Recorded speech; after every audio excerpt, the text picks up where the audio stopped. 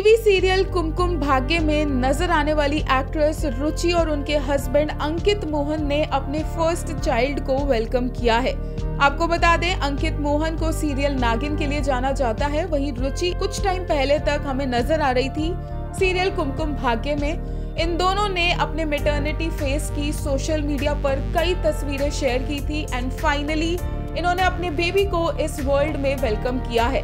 रुचि और अंकित मोहन एक baby boy के पेरेंट्स बन चुके हैं और अपने इस नए फेस को लेकर ये कपल काफ़ी ज़्यादा एक्साइटेड है।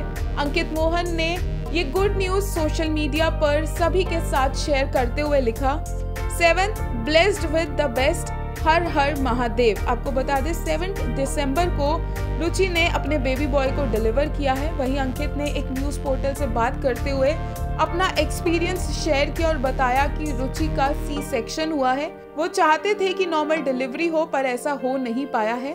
अंकित ने बताया कि वो काफ़ी ज़्यादा खुश है।